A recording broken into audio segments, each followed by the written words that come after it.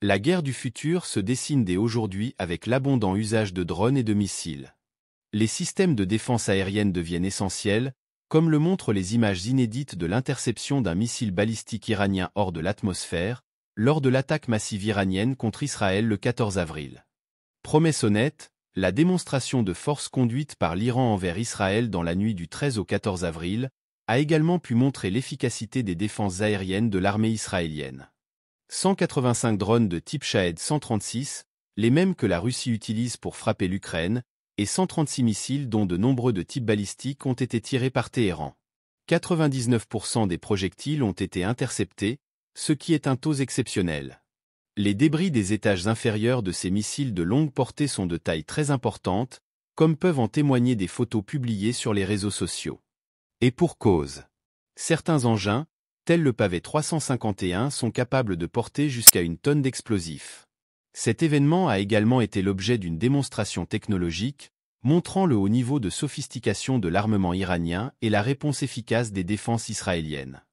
Lors de cette attaque, une vidéo montre une interception exceptionnelle d'un des missiles tirés par l'Iran. L'image montre une boule explosive se développant en très haute altitude, probablement à la frontière de l'atmosphère, la ligne de Karman, à plus d'une centaine de kilomètres d'altitude. Il s'agit presque d'une première, puisque l'an dernier, Israël serait déjà parvenu à neutraliser un missile tiré par le Yémen à une altitude exoatmosphérique. La trajectoire d'un missile balistique suit une forme de cloche pour retomber sur le sol. Difficile de savoir de quel projectile il s'agissait, mais il est probable que ce soit un Sejil dont la portée peut atteindre un maximum de 2500 km, avec une évolution en altitude pouvant culminer à 500 km de la Terre. Intercepter un missile à une telle altitude avec cette précision a nécessité l'emploi d'armes de défense de précision.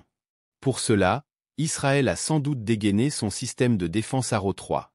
Mis au point en collaboration avec Boeing, ce missile de défense hypersonique est capable d'intercepter ce genre de cible exoatmosphérique.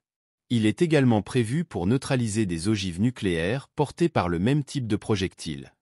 La destruction avec un tel taux de succès montre également à l'Iran l'efficacité du système de défense israélien face à une telle attaque potentiellement nucléaire. Difficile de savoir si le 1% de projectiles passés au travers de la raquette défensive pouvait transporter autre chose que des charges conventionnelles. Mais de son côté, avec ce déploiement de force et même si pratiquement aucun projectile n'a frappé sa cible, l'Iran a montré à ses partenaires commerciaux, comme la Russie et la Chine, la puissance et la qualité de son arsenal avec notamment ses drones Shahed 136, éprouvés en Ukraine.